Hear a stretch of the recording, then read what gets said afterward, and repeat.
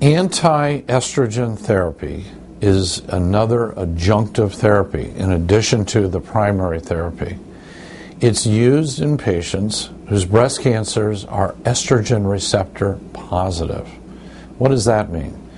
Estrogen receptors are on the surface of cancer cells, and the idea is to turn off those receptors so the cancer cell won't continue to grow.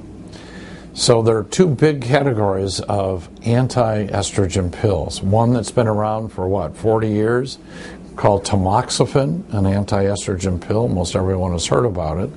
And then a newer category that's been around for a little under a decade now called aromatase inhibitors.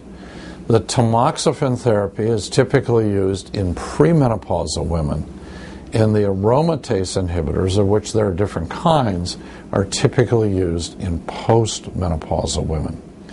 The idea is to give the therapy for five years and to turn off estrogen receptor positive cancer cells that may be elsewhere in the body.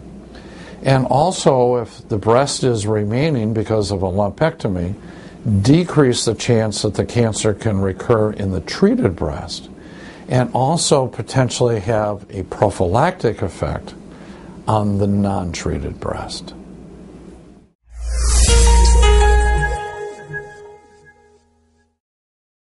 Hi, I'm Dr. Jay Harness, and I want to share with you important information that I believe that every newly diagnosed patient with breast cancer needs to know.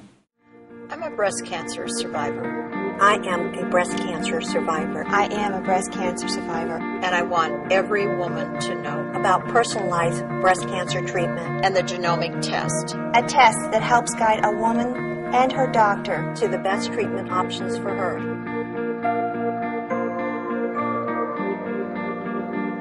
Pass it on.